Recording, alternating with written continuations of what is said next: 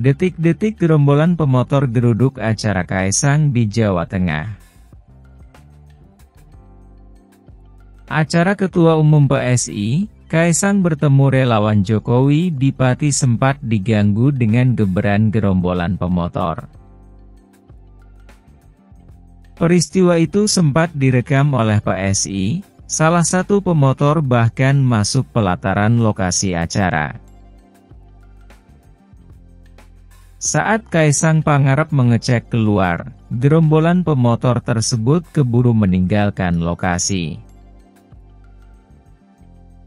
Menanggapi peristiwa ini, Sekretaris TKN Prabowo Gibran, Nusron Wahid, menyesalkan kejadian intimidasi itu.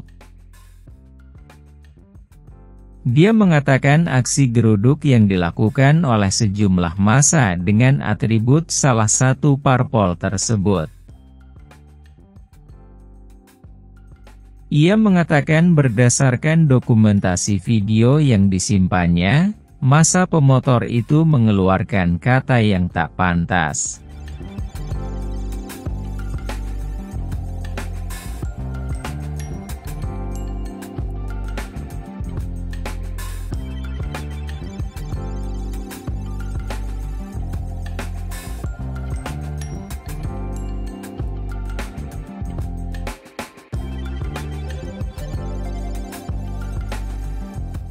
Download Tribun X sekarang. Menghadirkan lokal menjadi Indonesia.